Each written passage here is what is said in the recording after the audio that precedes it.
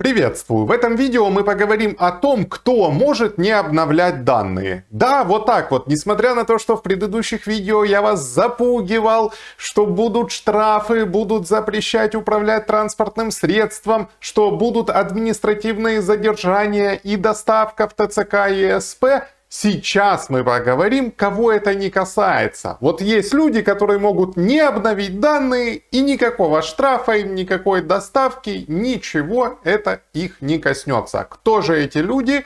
Ответ на этот вопрос есть в законе 3633, который мы помним еще как законопроект 10449. Давайте его смотреть. А в этом законі сказано следующее: громадяни України, які перебувають на військовому обліку, зобов'язані протягом 60 днів з дня набрання чинності цим законом уточнити адресу проживання, номери засобів зв'язку і адреси електронної пошти та інші персональні дані.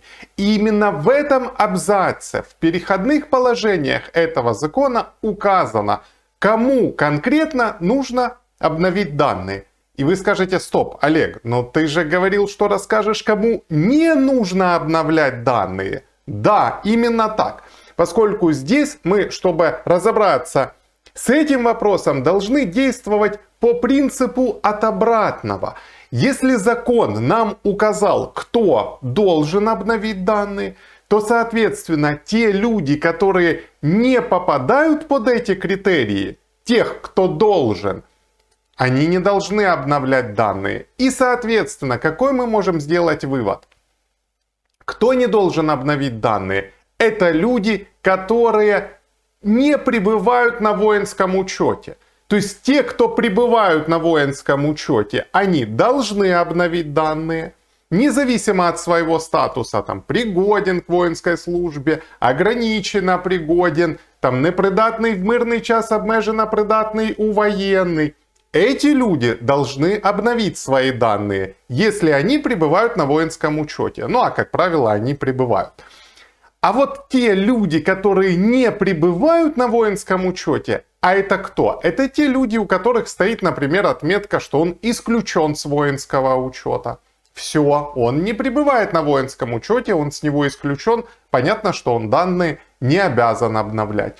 Те люди, которые сняты с воинского учета, то есть если последний штамп у вас стоит снят с воинского учета, вы тоже не обязаны обновлять данные, потому что вы не пребываете на воинском учете, вы сняты с него.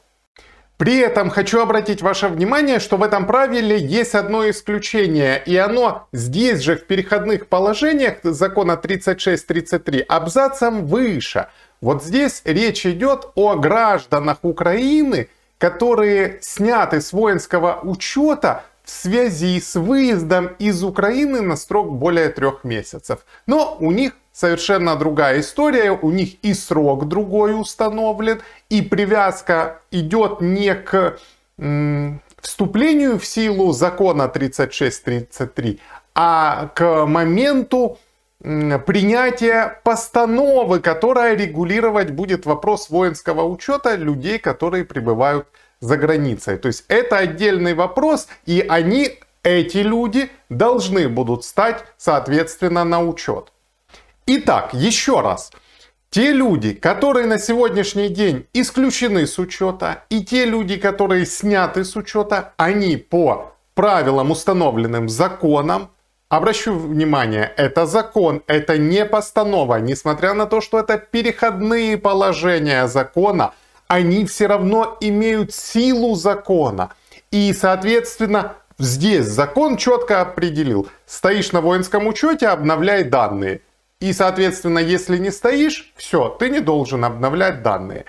Но но хочется обратить внимание, что, естественно, здесь есть но, и я понимаю, что кто-то уже в комментариях точно пишет, Олег, а там же в части 3 статьи 22 есть же еще одно правило, что военнообязанные должны обновить свои данные, там вернее как, інші військовозобов'язані, в течение 60 дней с момента, когда э, набуває чинности указ про оголошення мобилизации.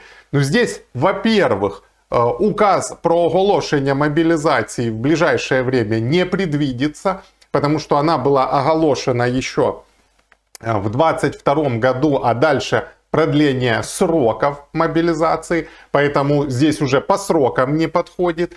А второй момент, там кто сказано, как сказано, інші військовозобов'язані. А військовозобов'язані це хто? Да это ж те люди, которые пребывают на учете. То есть это те люди, которые попадают, собственно говоря, в э, первую категорию. Люди, которые пребывают на учете. То есть, соответственно, любые военнообязанные, которые пребывают на учете военнообязанных, а также, к слову, и призывники, и резервисты, они должны, если они стоят на учете, обновить свои данные.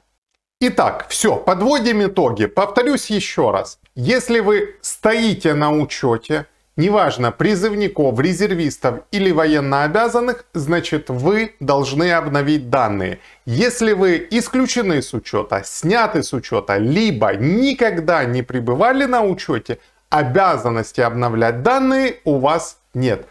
Все, на этом у меня все. Если вы считаете, что данное видео было полезным, поставьте ему лайк, подпишитесь на мой канал. Также приглашаю вас в свой телеграм-канал. Ссылочка есть в описании к видео. Также название его вы видите сейчас на экране. Ну а я вам пожелаю удачи, благополучия и, конечно же, мира.